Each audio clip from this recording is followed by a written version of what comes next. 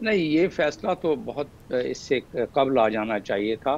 اس میں کچھ بہت دیر کر دی اس فیصلے کے آنے میں، کیونکہ آپ دیکھیں کہ مارچ سے لے کے اب تک جو جتنی چیما گوئیاں چل رہی تھیں اور جتنے تذبذب کا اس قوم کے بیشتر افراد شکار تھے اور جس کی وجہ سے ہماری معیشت کو اور ہماری اپنی ساکھ کو بیرون دنیا میں نقصان پہنچتا رہا ہے۔ اور میرے ساکھ سے میری مراد تو وہ تو آپ نے خود ابھی جو دونوں ہمارے جرنیل ہیں انہوں نے اس چیز کا ذکر کر دیا کہ ہمارے اس معاملے میں سائفر کے معاملے میں ہمیں کس طریقے سے کیا بولا گیا وہ سارا بتا دیا گیا ہے۔ اس میں اس کے کانٹینٹ سے ہٹ کر اگر اس کے اس کے مزید اس کی گہرائی میں جایا جائے تو جس انداز میں اور جس باڈی لینگویج کے ساتھ جو آج پریس کانفرنس کی گئی ہے دونوں جرنیلوں کی طرف سے اس کو آپ باڈی لینگویج بھی اور جو کانٹینٹس ہیں اس کو بھی اگر دونوں کو ہم اس کا جائزہ لیں اور تجزیہ کریں تو یہ محسوس ہوتا ہے کہ بالکل بات ان کے جو ہے سر سے اوپر پانی چلا گیا تھا۔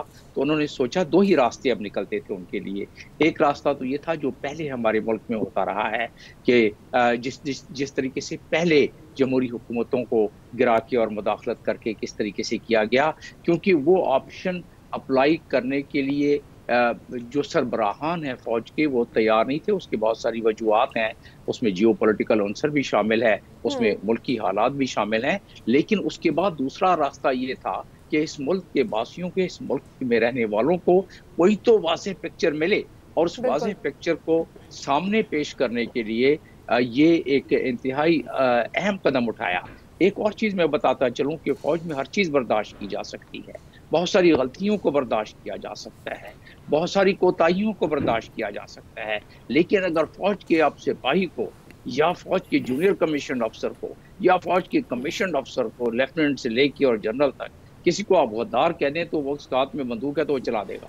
اس لحاظ سے وہ ان کے لیے بالکل ان کے جسم میں کرنٹ سا لگ سکتا ہے۔ اور یہ کرنٹ پتہ نہیں کتنے دنوں سے فوج برداشت کر رہی ہے۔ سوشل میڈیا دیکھیں کمپین کی کمپین چلے دیکھیں اس پر۔ تو اس لحاظ سے جو ڈی جی کہتا تھا کہ جی میں کبھی کیمرے کے سامنے نہیں آنا چاہتا ہوں مجھے کوئی تھا اور ایسے ہی ہونا چاہیے انٹیلیجنس اداروں کے سربراہان کا۔ لیکن آج کس مجبوری کے تحت اور کس ضرورت کے تحت اور کس اہمیت کے تحت اس کو آنا پڑا اور جس انداز میں اور جس جسٹس کے ساتھ جس ایکسپریشنز کے ساتھ جو بیانات کیے گئے۔ اس کو ایک چیز جی۔ اور میں آپ کو بتاتا چلوں جو فوج کی ایک اندرونی بات ہے جو کہ سیکرٹ جی، جی۔ نہیں ہے اور میرا کچھ تجربہ رہا ہے اس معاملے میں۔ فوج میں ایک ہر مہینے ایک پلز رپورٹ جاتی ہے ہر بٹالین سے یعنی سینکڑوں بٹالین ہے اس میں سے پلز رپورٹ جاتی ہے جس کو کہتے ہیں ایم ایس آئی آر جس کو کہتے ہیں منتھلی سیکیورٹی انٹیلیجنس رپورٹ اس میں ہوتا کیا ہے؟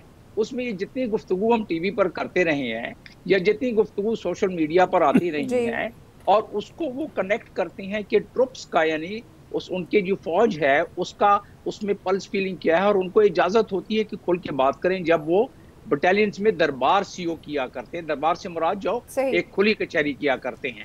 تو اس کے بعد اس میں جب ان کو فیڈ بیک ملتا ہے اس کو لکھ کر اور وہ کہیں بیچ میں نہیں جاتا ہے کہ برگیڈ میں جائے یا ڈیویژن جی۔ میں جائے یا کور کور ہے وہ سیدھا جی ایچ کیو میں لکھ کے جایا جاتا ہے۔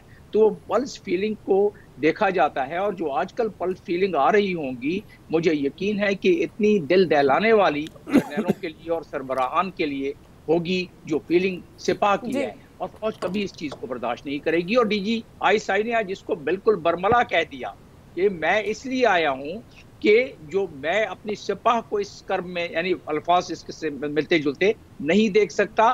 اور فوج کو آپ آپ سب کچھ جو غلطی کر سکتی ہے لیکن اس کو غداری یا کنسپریسی کے معاملے میں آپ کو جی بالکل ایسا